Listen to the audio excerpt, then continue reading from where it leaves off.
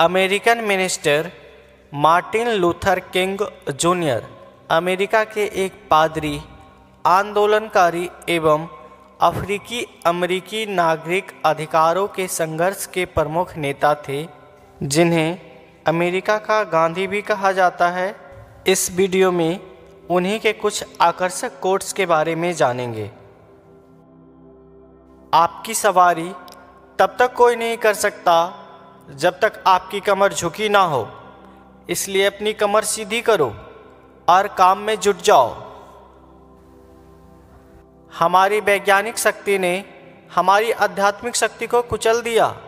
हमारे पास guided missile तो है, लेकिन लोग मिसगाइडेड हैं। हम लोगों ने मछलियों से समुद्र में तैरना सीखा, चिड़ियों से हवा में उड़ना सीखा लेकिन हम पृथ्वी पर रहकर आज तक भाई बहनों की तरह रहना नहीं सीख सके। सच्ची शिक्षा का लक्ष्य चरित्र के साथ बुद्धिमता का विकास करना है।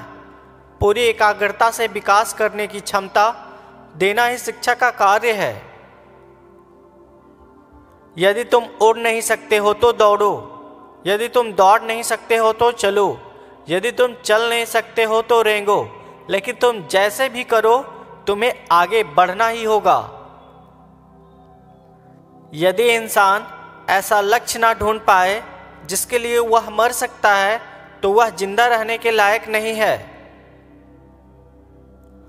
जब पति घर आए तो पत्नी को खुश होना चाहिए, लेकिन यदि पत्नी घर से बाहर जाए तो पति को दुखी होना चाहिए। मैंने अपने जीवन में प्यार को अपनाने का फैसला किया है, क्योंकि दुश्मनी में बहुत झमेला होता है।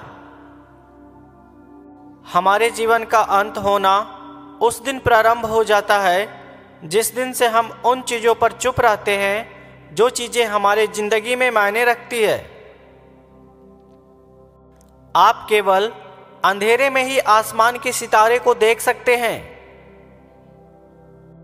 मैंने प्यार के साथ जुड़ने का निर्णय लिया है। क्योंकि नफरत का भार बहुत ज़्यादा होता है, जिसे उठाया नहीं जा सकता। सच्ची अज्ञानता और जानबूझकर दिखाई गई अज्ञानता से ज़्यादा खतरनाक इस दुनिया में और कुछ भी नहीं है। चांदी और सोने से ज़्यादा कीमती शांति होता है। जीवन की उत्कृष्टता महत्वपूर्ण होती है, ना कि दीर्घायु होना। आँख के बदले आँख अगर इसी राह पर चलते रहे तो एक दिन सब अंधे हो जाएँगे।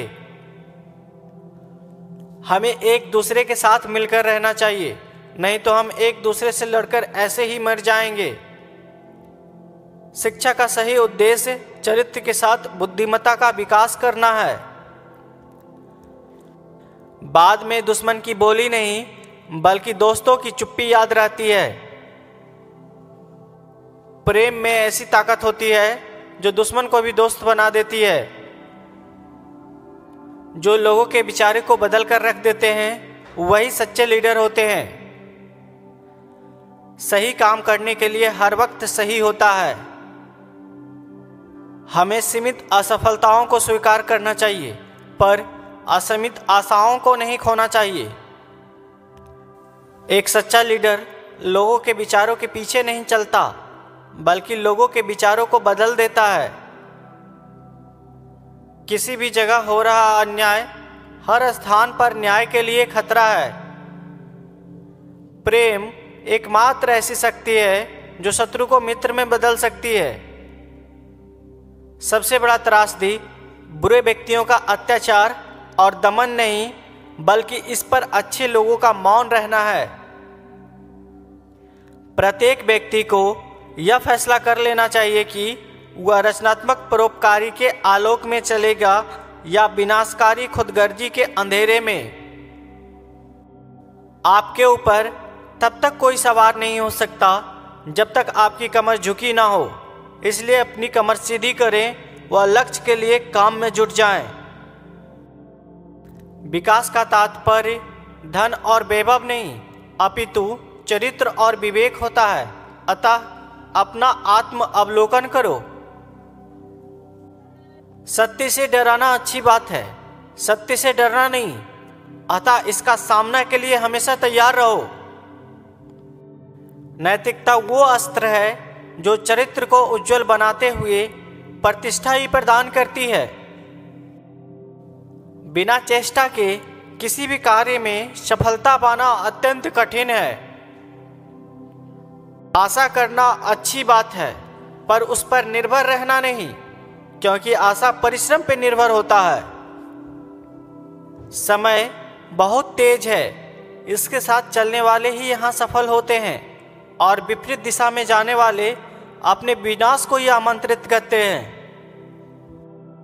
सौ सफल विचार बनाने से अच्छा एक सफल विचार को गति देना है, ये सफलता का मूल मंत्र है। वास्तविक नेता सर्वसम्मति की तलाश नहीं करता, उसे निर्मित करता है। कोई भी व्यक्ति आपको इस पतन पर नहीं ले जा सकता कि आप उससे नफरत करो।